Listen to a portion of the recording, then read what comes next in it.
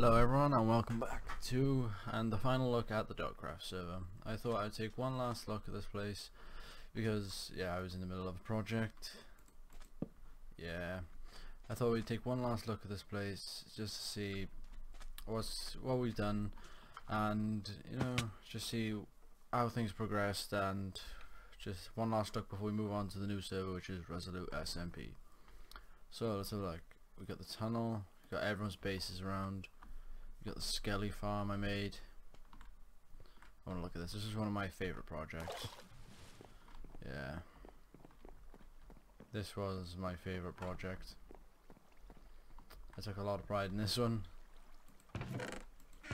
Yeah.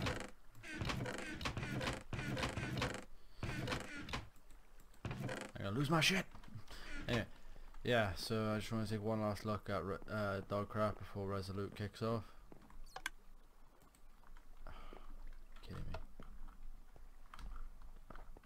This direct shaft as well. Yeah, so Resolute is actually going to reset tonight.